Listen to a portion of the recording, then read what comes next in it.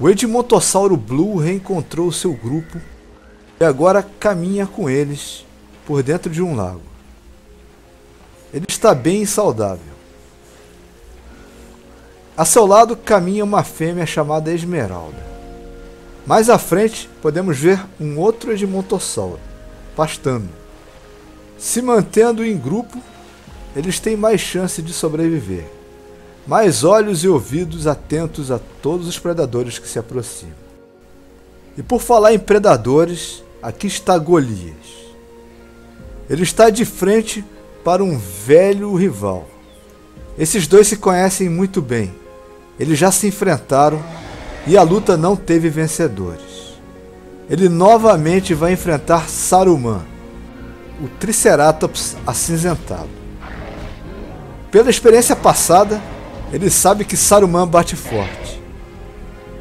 Mas dessa vez ele veio mais decidido. Os dois já estão sangrando. Duelos como esse nunca são fáceis. Mas dessa vez, Golias leva vantagem e consegue abater Saruman. O Triceratops está morto. E agora Golias tem alimento à vontade. Dessa vez ele consegue abater o Triceratops que não tinha conseguido abater na primeira vez.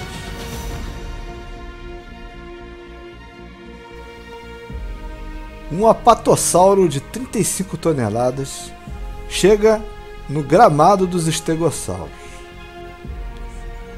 Esse gigante caminha lentamente por entre a manada de estegossauros indo em direção ao lago. Eles não têm problemas uns com os outros. Aqui está tudo em harmonia. Mas a cena é bonita de se ver. Os estegossauros são animais icônicos, um formato único e compõem a paisagem.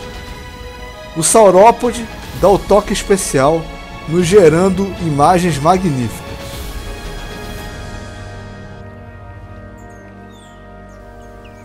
Às vezes os herbívoros pressentem algo. Eles sabem que algo vai acontecer, que algo não está certo. Mas nem sempre eles conseguem identificar de onde.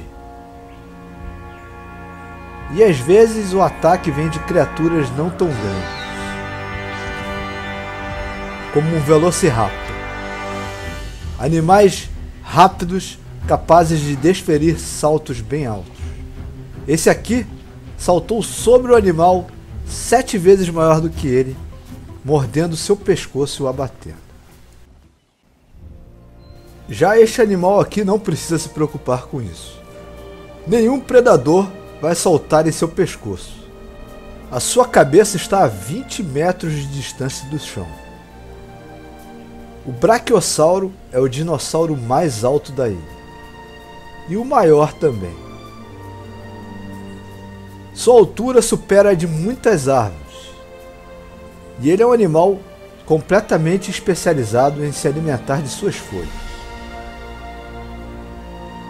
Notem que ele passa do lado de um apatossauro, um outro membro da família dos saurópodes.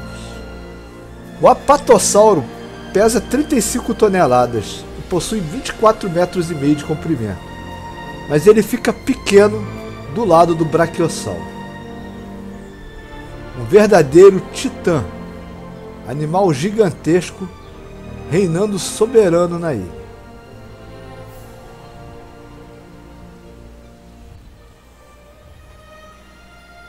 Esses gigantes possuem um ar majestoso. Eles sabem que reinam nessa ilha. Possuem um andar arrogante, uma posição ereta, um ar de superioridade. Eles sabem que são intocáveis. Eles são simplesmente maiores do que tudo isso. Estão num mundo à parte.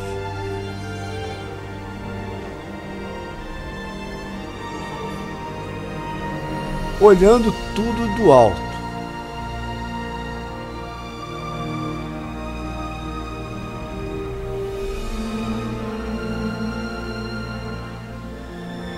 Os saurópodes são animais incríveis, gigantescos,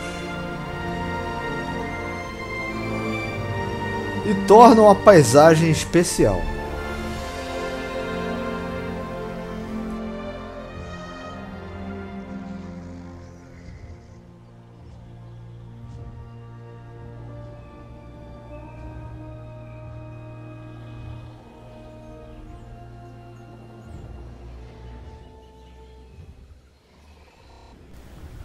Cronos, o Tiranossauro Rex, já está caçando novamente. E ele topa de frente com Brutus, um Triceratops macho. Cronos já bateu o Triceratops antes e sabe que eles fazem parte de sua dieta. Por sua vez, Brutus é um Triceratops forte. Ele tem muita testosterona e é bastante agressivo.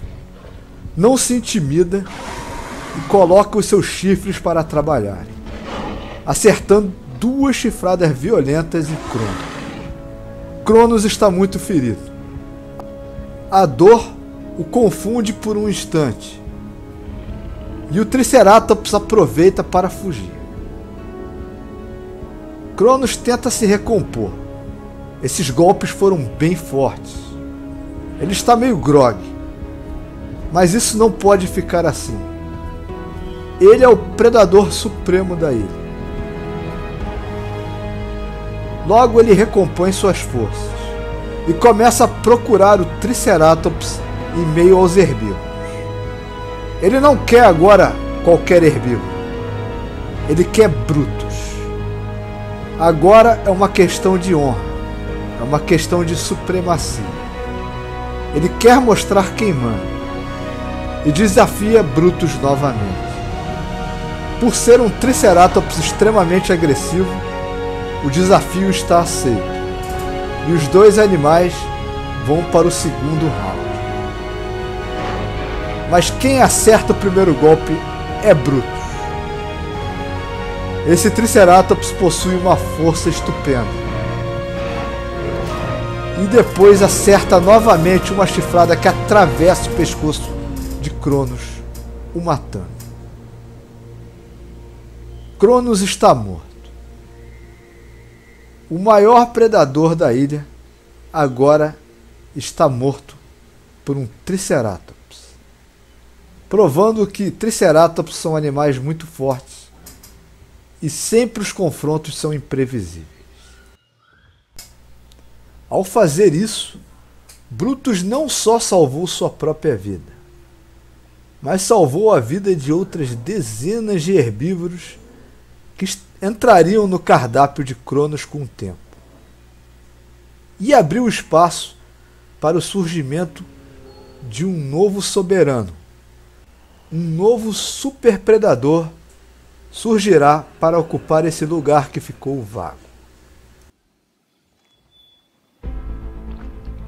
O nosso vencedor pasta calmamente nos gramados da ilha. Ele não tem noção do feito que ele fez. Ele abateu um dos maiores predadores.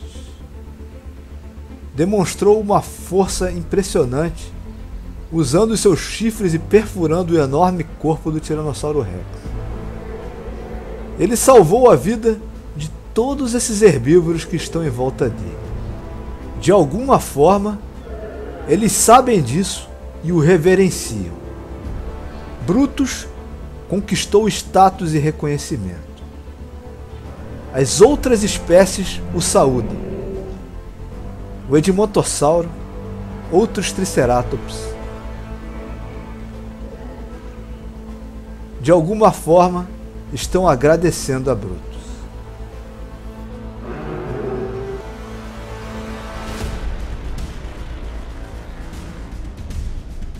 E assim se mantém o equilíbrio nem sempre o carnívoro leva a melhor. Em algumas ocasiões improváveis, surgem herbívoros com uma força acima do normal. Herbívoros com uma coragem acima do normal. Indivíduos que superam os limites de sua própria espécie. Eles veem o mundo com uma força um pouco maior. E são capazes de feitos como esse.